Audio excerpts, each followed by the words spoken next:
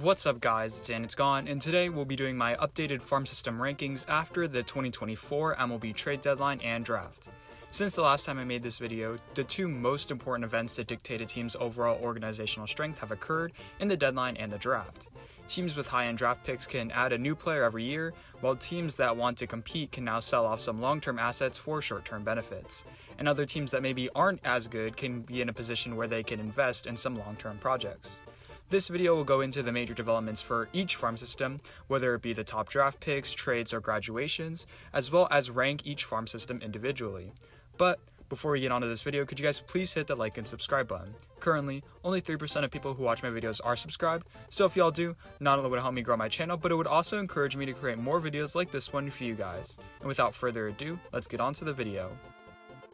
After years at being at the top of the American League and having low end draft picks, the Astros fall to 30th on my farm system rankings. Right now, there's simply not a lot there. The Justin Verlander trade last year, as well as the Yusei Kikuchi trade this year, has sapped a lot of the talents that provided this farm system upside. The real crown jewel of this system is Jacob Melton, a former 2022 first rounder and potential 5 tool player with great speed and developing power, although he is having an underwhelming season in AAA this year you have to look for some of their lower level prospects like Luis Baez, Bryce Matthews, and now 2024 first rounder Walker Janek to provide this farm system with more depth and top 100 upside if they have a great season. Right now, Bryce Matthews specifically is having that great season. He's tearing up high A and now holding his own in double A as a 22 year old shortstop, with a combined OPS over 900 on the year. With his age at 22 years old, he'll never be a truly elite level prospect, but if he keeps up his production, he can certainly be a nice trade chip or future above average shortstop at the major league level.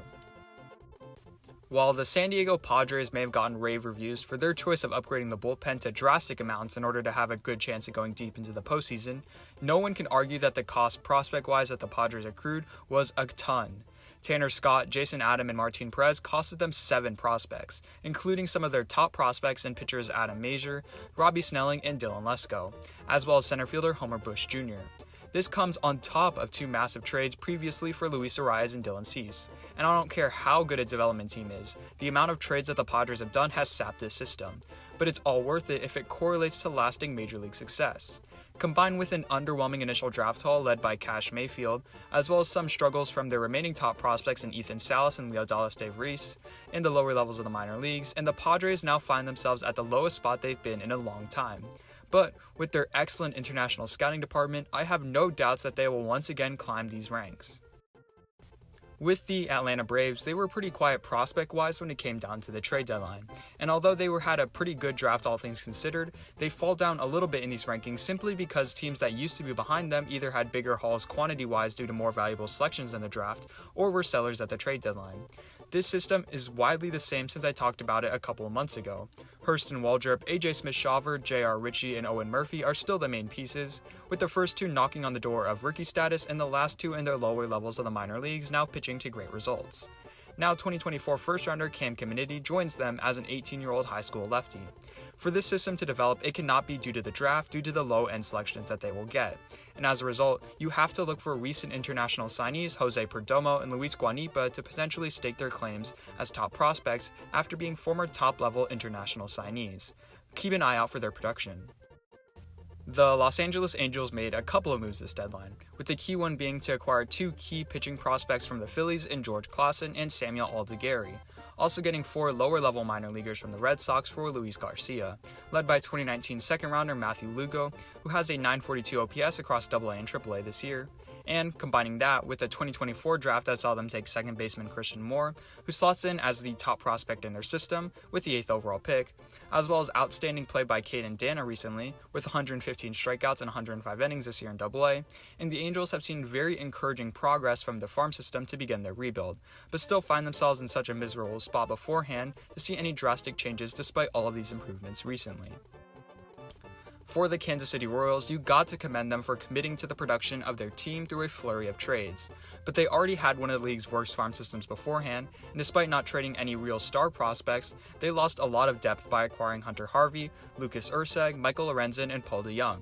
However, a strong 2024 MLB draft class keeps their farm system afloat for the time being. Jack Caglianone becomes a top prospect immediately. As one of the best two way players since Brendan McKay, he has elite level upside, but his power alone makes him a top 25 prospect in the game immediately. Pitchers David Shields, Drew Beam, and LP Langevin also worked to replenish some of the depth lost in trades as well. And in terms of the players on the farm who could potentially make an impact down the stretch for a playoff team, look for Noah Cameron to potentially make his debut in the bullpen this year. He just recently got called up to AAA and has been great with a 3.44 ERA and 97 strikeouts in 81 innings. While he doesn't have overwhelming stuff with a fastball that only sits in the low 90s, his new delivery has deceptively thrown minor league hitters off balance this year. For the Rangers, they saw their top prospect in Wyatt Langford graduate over this time period and are kind of in a transition period regarding their farm system. At the deadline, they did a little bit of buying and selling, acquiring a nice reliever prospect in Walter Pennington in the Michael Lorenzen trade, but also giving up five prospects in trades for Robbie Grossman, Carson Kelly, and Andrew Chafin, including a great starting pitching prospect in Joseph Montalvo, who's posted an ERA of 2.44 this season in High A.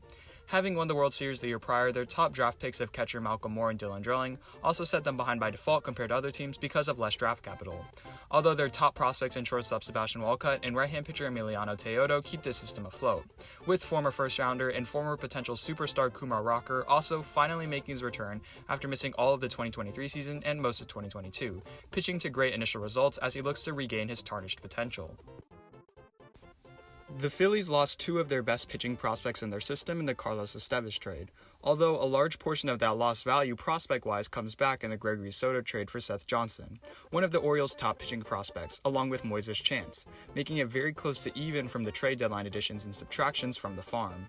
As another one of these teams that made it deep into the playoffs the previous season, they automatically fall behind the eight ball in terms of drafting the elite level prospects. And while top prospect Andrew Painter is out until 2025, with serious questions about his long term viability as a starter arising, and Aidan Miller and Starlin Caba are also struggling in the lower levels of the minor leagues, outfielder Justin Crawford and catcher Eduardo Tait are emerging as some of the best prospects in the Philly system, with Crawford hitting over 300 across high and double A, and Tait slugging over 500 in single A at only 17 years old. Tait is one of my favorite prospects in all of baseball right now, and a huge watch over the next couple of years to be an elite level prospect if he continues this production at such a young age. The Blue Jays do indeed jump up these rankings thanks to a busy trade deadline in which they sold off a lot of their rental guys. But by not selling off any of the guys with multiple years left on their deal, like Vladimir Guerrero Jr. and Bo Bichette, they did not acquire enough capital to truly make a huge jump up these rankings. Although I did love the haul that they got for their rentals, acquiring right-handed pitcher Jake Bloss, outfielder Jonathan Clase, Charles McAdoo, Will Wagner, Cutter Coffey, and RJ Schreck to add considerable depth to a farm system that was previously lacking such. Although they have yet to have an upper echelon prospect in their system, and the struggles of Ricky Tiedemann, who's posted an ERA over 5 in 8 starts this year, and former first rounder Arjun Nimmala, who's seen his batting average over in the 210s, does not help. Outside of the two struggling top prospects, they also have 2024 first rounder Trey Yesavage, who will be brought along as a starter out of East Carolina, and Orelvis Martinez, who has been tearing up AAA and only just recently made his major league debut after all of those trades have opened up a spot for him. As buyers during the 2024 MLB trade deadline, the D backs made three trades, but only two of them required prospects. AJ Puk got two decent prospects 21 year old first baseman Deyvison de los Santos and 20 year old center fielder Andrew Pintar. Both of them were having excellent seasons in their respective levels. That being said, the 2024 MLB draft class for the D backs was a relatively strong one, as they had three of the first 34 selections, and their two first picks in Slade Caldwell and Ryan Waldschmidt immediately slotted in as two of the top 10 prospects in Arizona's system. They also still have top prospect Jordan Lawlar in the system, who's a top 10 prospect in all of baseball. Although he has been set back with multiple injuries this year, he still has the talent. As well as 2023 first rounder Tommy Troy, who's been beset by injuries as well, and Drew Jones, who is having a resurgent season with an OPS above 800, but is still an A ball in his now second professional season. The Giants are another one of these teams who saw very little change throughout their farm system, with a deadline that saw them acquire a talented 21 year old third baseman Sabin Ceballos in the Jorge Soler trade and Jacob Bresnahan in the Alex Cobb trade. Very little in the grand scheme of an entire farm system. In the draft, they got James Tibbs III, a talented outfield prospect and pure hitter, as well as a steal in the fourth round in Dakota Jordan. And as for their top prospects, while Carson Whisenhunt has struggled with an ERA near 6 in 19 starts, Bryce Eldridge has showcased the power that made him a former first rounder with 12 home runs, and pitcher Hayden Birdsong has looked very encouraging in the major leagues with an ERA under 3 in 6 starts. Outside of Noelvi Marte graduating and the drafting of Chase Burns, the Cincinnati Reds farm system at the top end has remained relatively the same. At the deadline, they were fairly quiet, although I did like the acquisition of Ovis Portes in the Lucas Sims trade, as a 19 year old 6'4 right handed pitching prospect who has struck out 41 single A batters in 34 innings this year with a 2.12 ERA. While their top prospect in Rhett Lowder, a 2023 first rounder, has failed to truly separate himself from the competition, he's been decent. However, one player that I would like to highlight is former first rounder Sal Stewart. He has almost as many walks as strikeouts this year and has an OPS near 850 in high A at 20 years old. Already a top prospect, if Stewart continues this production in the jump to Double A, we could seriously see his stock rise a ton.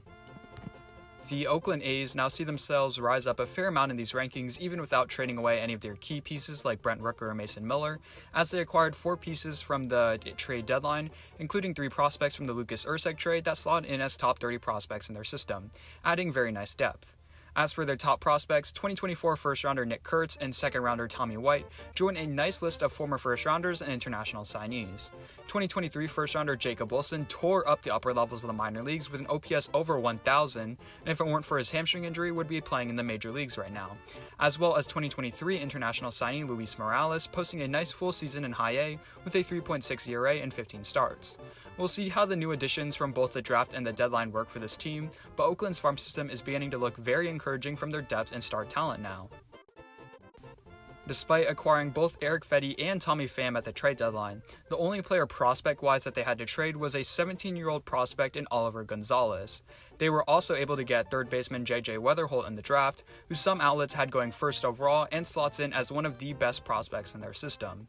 That being said, middling play from some of their top minor league guys prevents this farm system from truly moving up the ranks when on paper they should have. Despite the breakout of Quinn Mathews, a 2023 first rounder who's posted a 2.67 ERA across single A all the way up to double A, with 140 strikeouts in 101 innings, and 2022 first rounder Jimmy Crooks with a 303 401 470 slash line as a catcher, a lot of their guys have either dealt with injuries or have underperformed, like 2023 first rounder Chase Davis, Victor Scott, or Tekoah Roby.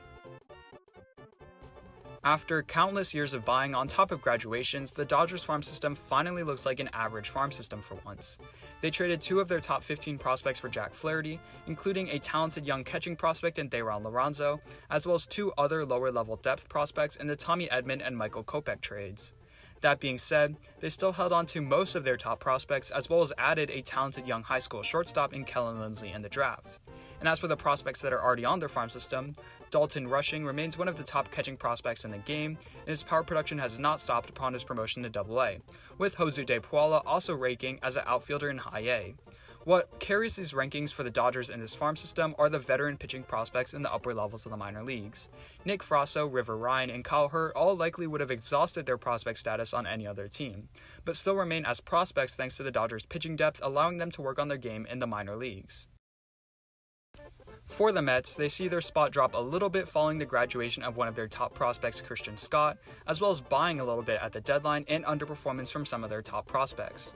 That being said, they still have one of the deeper systems in all of baseball. In the first round this year, they selected Carson Benge, one of the best defensive outfielders in his class, who now joins former first rounder Drew Gilbert and Ryan Clifford as top level outfield prospects. Although neither of them have been performing particularly well this year, struggling with strikeouts against upper level arms. Former 2022 first rounder Jett Williams and 2023 first rounder Colin Houck have also been struggling as well. Jett is batting below the Mendoza line, and Houck is barely slugging above 300.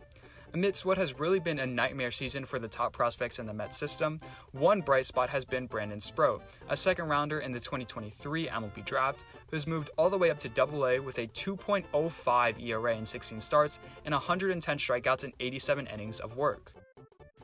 The Pittsburgh Pirates farm system drops a decent amount following the graduation of one of the top top prospects in all of baseball, Paul Skenes, who may just win the NL Cy Young Award, but they also were buyers at the deadline, trading away five prospects to acquire Isiah Kiner-Falefa, Bryan De La Cruz, and Jalen Beeks, including one of their top prospects in Charles McAdoo, who is having a breakout season. The Pirates have historically been great at developing pitching prospects. Braxton Ashcraft is having a great season with a 2.88 ERA in the upper levels of the minor leagues, and Thomas Harrington is not far behind him in AA.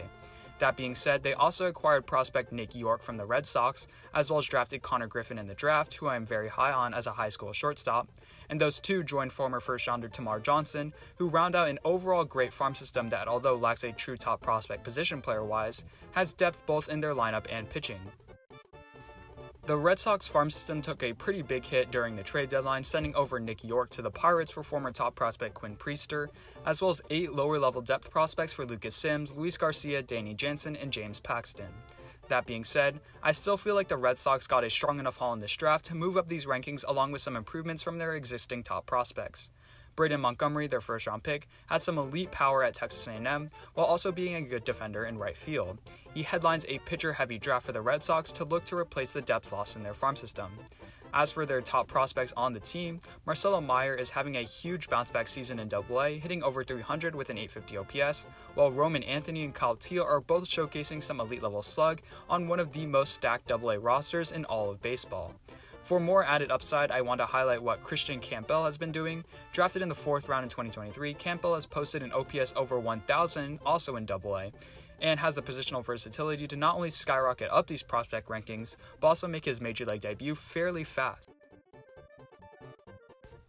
When I made my initial farm system rankings video a couple of months ago, I commented on how the Rockies farm system has the potential to skyrocket up these rankings thanks to a prime drafting position and during the trade deadline. And while they had an absolute home run of a draft, selecting the best player on my board in Charlie Condon, as well as a talented Brody Brecht in the second round, they were relatively quiet overall regarding their lineup and rotation during the deadline, limiting their overall improvement.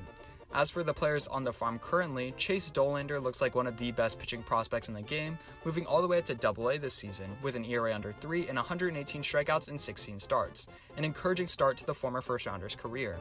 and highlighting one prospect, I would like to highlight Cole Carrigg to potentially crack a top 100 list soon. He's slugging nearly 500 this year, albeit in the lower levels of the minor leagues, but he can basically play anywhere along the infield or outfield, including catcher, making him a super utility player that can also hit in the future.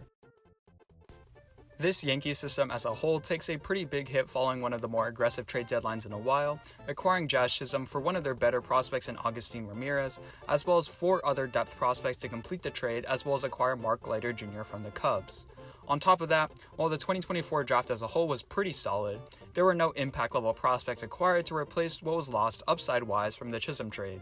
For the farm system report, Jasson Dominguez looked primed to graduate, but suffered another injury that has looked to be another setback to his promising career, but still has the elite level talent to boot. Spencer Jones has looked underwhelming this year, but still has the power profile to remain a pretty elite level prospect following a good stretch, and a new wave of Yankee prospects in Roger Gurriel, George Lombard Jr., Henry Lalane, and Brandon Mejia are just beginning to get their feet wet in the lower levels of the minor leagues.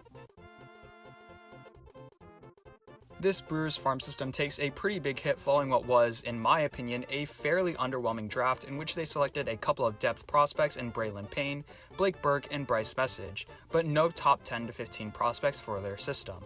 Nonetheless, their farm system as a whole is still solid enough for them to be on the borderline of a top 10 farm system. Jacob Misiorowski continues to make his case for being one of the best pitching prospects in all of baseball, making his way up to AAA with a 3.68 ERA and 105 strikeouts in 80.2 innings. And the farm system also has the injured but talented Jeferson Quero, as well as Tyler Black, a polished first baseman prospect, and a breakout prospect in Cooper Pratt, a 2023 sixth rounder who has vaulted up these rankings with a polished hitting approach, already reaching high A at just 19 years old.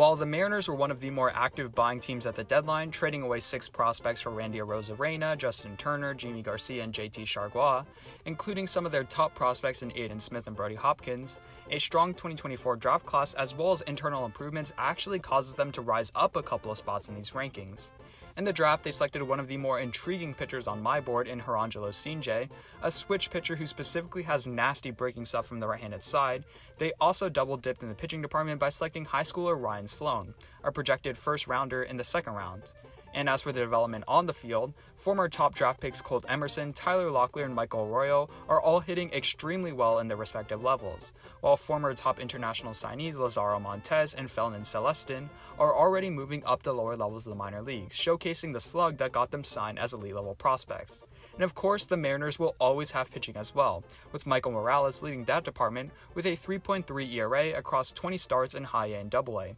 A deep, deep system that has serious upside with Emerson, Arroyo, Montes, and Celestin all in the lower levels of the minor leagues. While the Cleveland Guardians were buyers at the deadline, they rose up a huge chunk in these rankings off of grabbing one of the best draft hauls in all of baseball. With the first overall pick, the Guardians drafted one of the best players on the board in Travis Bazzana, who immediately becomes a top 10, if not top 5 prospect in all of baseball, while also building up the pitching ranks in the middle rounds with a couple of borderline top prospects in pitcher Braden Doty, Joey Oakie, as well as catcher Jacob Cozart. This farm system, while lacking depth initially, now has serious depth and star talent to pair alongside top prospects Chase DeLauter, Daniel Espino, Kyle Manzardo, and Jaison Chourio, although none of them are having particularly great standout seasons for their particular club. The fact that they have so many top prospects, coupled with the draft and recent international signees like Angel Genao and Wellbin Francisca, make this a top 10 farm system. And if it weren't for the Lane Thomas trade, sending over three serious prospects, including the 6'6 lefty Alex Clemmey and 19 year old Rafael Ramirez Jr., then the Guardians would have likely been comfortably in the top 5 in all of baseball. The Miami Marlins were the seller team at the deadline and basically acquired a brand new farm system with their trades, causing them to skyrocket up these rankings. Prior to the deadline, one could seriously make the case that they were the worst farm system in all of baseball. Their draft, while looking for depth, failed to get any true high end prospects, with first rounder PJ Orlando being a top 10 prospect at best in their organization, and their top prospect Noble Meyer has struggled mightily upon his promotion to AA, with lefty Thomas White looking like the new top dog in the Marlins farm after posting an ERA under 3 across high A and AA this season. However, following the deadline, they are now overflowing with depth and high upside prospects. And although they still don't have that elite level prospect, they could in a couple years' time with more development. The Tanner Scott trade brought in two top prospects in former first rounder Robbie Snelling and Graham Mazur, as well as Graham Pauley, who is now a top 15 prospect in their system. From the Jazz Chisholm trade, they got a borderline top 100 prospect in Agustin Ramirez, a talented bat first catching prospect, and Jared Serna, a top 15 prospect in their system. Trevor Rogers gave them top 100 prospect Connor Norby, and the AJ Puk trade gave them a top 10 prospect in Deyvison de los Santos, a borderline top 100 prospect who is leading the minor leagues in home runs, and top 30 prospect in Andrew Pintar. Lastly, trading Brayan de la Cruz, JT Chargois, and Huascar Brazoban gave them four other lower level prospects, who could pan out into something. Right now, it's t- still too early to truly gauge the strength of this farm system until the lower level prospects acquired begin to pan out, but this farm system right now has serious top 5 upside in a year from now. While the Major League season as a whole has been encouraging but ultimately underwhelming, the Tigers farm system is set to give them serious improvements in the upcoming future. Let's start with the trade deadline. The Jack Flaherty trade gave them a borderline top 100 prospect in Thayron Liranzo, a power hitting catcher with an outstanding arm and improving catching abilities, as well as former first rounder Trey Sweeney. The other trades also netted them six other prospects, including five pitchers. Next from the draft, they continued to draft high upside high schoolers, selecting the second best one off the board in Bryce Rainer, a power hitting shortstop with a good field there, as well as a pitcher Owen Hall and Ethan Schiefelbein. The thing about drafting high schoolers is that they have added unknowns being so young, but those unknowns could also result in increased upside, meaning that you could uncover a hidden gem if all works well. And as for prospects that are in the system already, Max Clark, Jackson Jobe, Kevin McGonigle, and Jace Jung all lead the way, as some of the best prospects in all of baseball. Clark has posted an excellent first full season, batting nearly 300 across single and high A, while stealing 27 bases in 83 games, while Jung and McGonigle have had great seasons specifically in the power department and Jackson Jobe has posted an ERA under 2 across high A and double A in 13 starts, throwing his hat into the ring as the best pitching prospect in all of baseball, and a testament to the Tigers' draft strategy of drafting high schoolers with their elite level selections, drafting him third overall in the 2021 MLB draft. While the Twins did virtually nothing of note during this trade deadline and their draft was fairly underwhelming, selecting a college level depth prospect in shortstop Kaelen Culpepper with their first round selection, and third baseman Billy Amick with their second round selection, this Twins farm system has experienced a serious hot streak throughout their entire farm system, resulting in a slight bump in their overall stock. Most, if not all, of their top prospects are performing at excellent levels, seeing their stocks rise as a whole throughout the entire year. 2023's fifth overall selection, Walker Jenkins, is raking at 19 years old, moving up to high A with an on base percentage over 400 and an OPS of 830. While 2022's first round pick, Brooks, Lee, has an OPS over 1,000 in the minor leagues and has received a major league call up just two years after he was drafted, where he is holding his own at the major league level. Emmanuel Rodriguez, while dealing with injuries, has posted a 1.1 OPS in his limited time in AA, including a 621 slugging percentage and 479 on base percentage, highlighting an advanced approach and great power at the plate that made him a top international signee in 2019. Lastly, for position players, Luke Keaschall, a 2023 second rounder, has made his way all the way up to AA, batting over 300 with a 914 OPS in 99 games. And lastly, as for the pitchers, 6'6 David Festa struck out 89 batters in 16 and a third innings to earn a major league call up, while Zebby Matthews has posted a 2.64 ERA across three levels, ranging up to AAA, with 109 strikeouts in 92 innings. With neither of them being in the top 200 players drafted in their respective drafts, if these now top prospects pan out in the major leagues, it may be time to consider the Twins as another team with a knack for developing starting pitchers. And the high draft pick position players don't hurt either, adding to what is one of the best and deepest classes in all of baseball. This Cubs farm system takes a small step back in large part due to the graduation of Pete Crow Armstrong and Cade Horton's injury cooling its stock a little bit. That being said, they are no, by no means a weakening farm system. Matt Shaw, Owen Caissie, the Cubs' two premium position player prospects, are continuing to show their hitting prowess in the upper levels of the minor leagues, and James Triantos, Kevin Alcantara, and Moises Ballesteros are doing the same. While they didn't get any great prospects of note, swapping depth prospects during the deadline, they did get a top 15 player in the draft in Cam Smith and are continuing to see great hitting from one of the deepest farm systems in the game.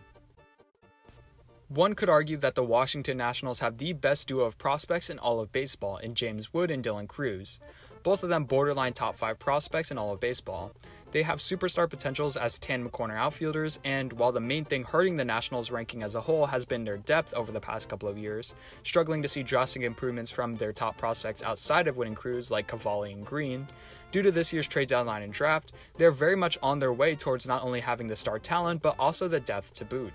they were able to send over Lane Thomas to the Guardians for a borderline top 100 prospect in Alex Clemmey, as well as depth prospects Rafael Ramirez Jr. and Jose Tena. They also got a top 10 prospect in Cayden Wallace and a draft pick for Hunter Harvey, and two depth prospects for Dylan Floro and Jesse Winker. And in the draft, that extra draft pick allowed them to get two first round picks in theory, selecting shortstop Seaver King out of Wake Forest, another top 100 prospect, and catcher Caleb Lomavita, one of my favorite catching prospects coming into the draft process already a top 10 part farm system to begin with, the moves made both during this deadline and the, during the draft significantly boosted a farm system that is looking to contribute major league talent very soon to end this rebuild. While the Chicago White Sox didn't receive the best grades for how they handled the deadline in terms of acquiring the best deals, they still added a ton in prospect capital to aid what is now a burgeoning farm system. And while I thought that they could have done better in the draft with a top 5 selection, they were bound to get a very solid player to add in their farm system, and that player ended up being lefty Hagen Smith, who immediately becomes a top 3 prospect in their system and likely top 25 overall. Despite the graduation of top prospect Drew Thorpe, this farm system has the star talent, and the trades and draft class as a whole added much needed depth to create an excellent farm system. At the top, the talent remains the same. While Colson Montgomery has struggled, Noah Schultz, as a 6'9 lefty, has remained every bit the future ace of the pitching staff that the White Sox hoped he would be. Reaching as high as AA, Schultz has posted a 2.6 ERA with 87 strikeouts in 65 innings, one of, if not the best pitching prospect in all of baseball. Rounding out the rest of their elite prospects is Edgar Quero, who is having a monster season in AAA this year, batting over 300, as well as Ky Bush, a 6'6 lefty with an ERA under 3 this year and the upper levels of the minor leagues. And 22 year old Jairo Iriarte is holding his own in AA after being acquired in the Dylan Cease trade. With the Hagen Smith selection, the White Sox farm system is seriously beginning to make a name for itself as a pitching powerhouse. And if all of these pitchers pan out, it's not far fetched to say that the White Sox will have the best rotation top down in the year 2028. Despite everything that has happened to the Orioles system, from a couple of graduations to a huge trade involving their top prospect in Connor Norby, as well as a couple of other trades taking away some other depth pieces, the Orioles still remain a top 5 farm system. I love the team's draft starting with outfielder Vance Honeycutt, a high upside potential 5 tool player that, if he can fix his strikeout issues, will be an amazing player, and Griff O'Ferrall and Ethan Anderson being nice depth prospects. On the roster, their farm continues to have huge depth in their star talent department. Jackson Holliday's second go round in the major leagues has been encouraging, and he's still only 20 years old, who's shown he can be productive against older competition. Samuel Basallo is only 19 years old and is raking against AA pitchers, and Coby Mayo just got called up as an elite level power threat. On the pitching side, while they did lose a couple of arms from their trades, they still have a couple of older prospects in Chayce McDermott and Cade Povich and the 2023 first rounder Enrique Bradfield Jr. has been solid in his first professional season. Overall, while they lost a couple of bullets from the trade deadline, this factory production continues to turn out amazing productive players, and I have no doubt that this 2024 draft will continue to do just that. Amidst all the trades for the Marlins, it's pretty easy to forget that the Rays actually were one of the bigger sellers this year as well. They acquired two prospects from the Isaac Paredes trade, three prospects, including a top 10 prospect in Brody Hopkins and a top 15 prospect in Aidan Smith in the Randy Arozarena trade, three prospects in the Zach Eflin trade, including one of the Orioles' top pitching prospects in Jackson Baumeister, as well as a top 100 prospect in the former first rounder Dylan Lesko, and two other top 30 prospects in the Jason Adam trade. Simply put, the Rays farm system was already in the top half in the league before the deadline, and the depth and star prospects acquired in the deadline make this system the best in all of baseball. There's a bevy of names I could talk about when talking about the Rays farm system. 2024 first rounder Theo Gillen has all the makings of a future star, with a polished hitting approach at only 18 years old. Junior Caminero, while struggling with injuries, has resulted in an overall dip in his numbers, remains a top 5 prospect in all of baseball with an elite hitting tool. 2021 first rounder Carson Williams and 2022 first rounder Xavier Isaac are now approaching the upper levels of the minor leagues, with Isaac specifically posting a great season with a 925 OPS across two levels. And 2023 first rounder Brayden Taylor has been excellent in his first professional season with the Rays, slugging over 500 500, making it all the way up to Double A. In terms of underrated prospects, Chandler Simpson has the best contact seen since Luis Arraez, but he's also extremely fast and has gold glove caliber defense, while also batting over 350 in Double A this year. The 2023 third rounder Tre' Morgan is also batting over 340 with a 908 OPS across single A and high A this year. And while the pitching is not as strong, newly acquired Dylan Lesko, Brody Hopkins, and Jackson Baumeister round out what is an incredibly solid future rotation for them. And although the timelines vary for the Rays in terms of their prospects, the future looks bright in Tampa Bay once again. Well, thank you guys so much for watching all the way to the end in what has been a very long video. If you enjoyed, please remember to like, share, and subscribe, and comment down below new video ideas. Also, comment down below if you would like me to do more farm system rankings videos. And if without further ado, I will see you guys in the next one. God bless.